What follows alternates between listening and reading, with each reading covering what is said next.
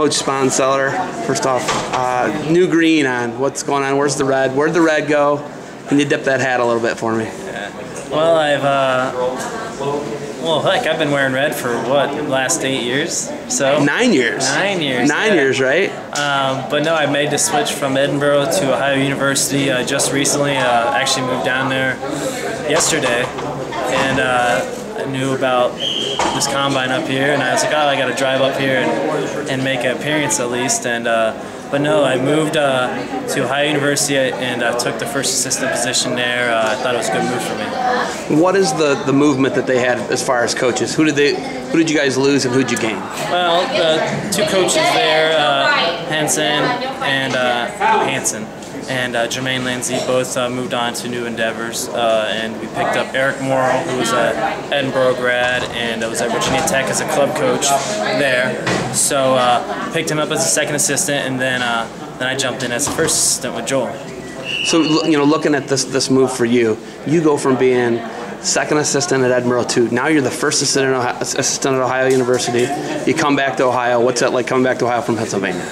Well, I'll tell you one thing, I don't feel like a foreigner anymore. Something about it, if you're from the state of Ohio, you know uh, Ohio's home. You know, it's Ohio against the world, right? Everybody says, and uh, so it makes me feel real comfortable to be back. Even though I'm not back home per se, uh, but I'm I'm back home in the state of Ohio, and so it makes me feel real comfortable. Um, I love Pennsylvania. I loved Edinboro. The people at Edinboro are amazing people. Um, but it does feel good to be back in the state of Ohio. And looking at the you know uh, Ohio University from you know 49 through heavyweight, and that's who you're going to be working with predominantly. Probably not heavyweight as much with Joel, but you know you look at that. You guys got four surefire all-American candidates in my opinion. You already got an All-American at 74 with Walters, but what do you got to do to get those guys to the next level? You, what you did at Edinboro, how do you bring that culture to Ohio University? Well, I think the kids, uh, the kids definitely work hard. You know, it's uh, just a matter of just doing little tweaks here and there, and uh, really just trying to tap into their full potential. And and uh, like I said, any kid at really Division One level wants to win. You know, they, they all had success in their life, and and uh, I think it's just kind of bringing what I've learned at at uh, the places I've been and maybe trying to implement a little bit things and trying to play with it, you know, off their strengths too. And uh, so it's just really, uh, I'm there to assist, right? So uh, really just help them, you know, and I'll and I'll play and, with things and and uh, try to put my mentality into them a little bit and hopefully uh, get the best out of them. Looking at Ohio University last year, three round of 12 guys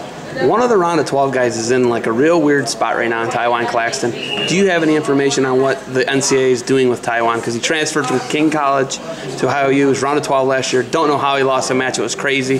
Neff from Lock Haven hits a crazy flip in overtime. I don't know if you saw it.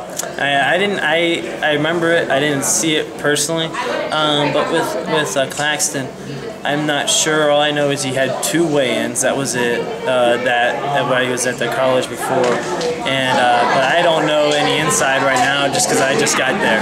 Um, so with that, I can't tell you much more than that. It's kind of crazy, right? It it's is because it's two weigh-ins that they're saying was a season from, for him. From what I'm understanding, it wasn't even close to 25% of a season. Um, I don't know what the NCAA is doing. I don't know how, how the how it's being pursued at Ohio University either. You're, you're uh, new to the scene, like yeah, you said. very new. So I mean, this week, literally. Yeah, literally. Well, yesterday. yesterday. I mean, this you just put the new green team on yeah, this week. Yeah. Well, today. today, literally. yeah. So. You know, when you look at that, obviously you don't know much about that scenario, but you guys need 149. You need 157. Sparty's done. You got to stud at 65 as a young guy. You kind of got to build around that guy. Yeah, we got some we got some really young talent in there. Cade Kowalski, Kaminsky, uh, Ohio kids, Cameron Kelly, uh, Shakir, uh, Laney, all those kind of guys. Those are smaller guys. So I think they're really they're, they're the lightweights are, are pretty solid and it's made up mostly Ohio kids. You know, and I think that's a big uh, thing that OU is doing is they're recruiting a lot from in-state and uh, but yeah, I think I think really uh, we got an older group of bigger guys, and uh, we just got to build around those and, and get those weights. And and I mean, for me, the recruiting uh, this this you know early signing period is going to be kind of rough, but I think when uh, we get into the, the spring and the, you know the Ohio State tournament stuff like that, we can really get those late signees, and hopefully I can really contribute. What do you look for out of it, like this combine today? What are you looking for? Well, I wish I could see their numbers on their shirts. it's like a reflective one. Yeah, I can't see it either. And uh, but it's really just looking for kids that uh, you know are showing some some talent, some sparks, and, and there here and there, and just really get uh, really just get you know Ohio uh, University Bobcat out there and let them see that we're here watching them. That's a big thing because you really not you really can't do much. It's really hard to see a lot because you're trying to focus on one guy. Then you see a kid hit a nice high crotch to a finish there, and so it's like it's all over the place.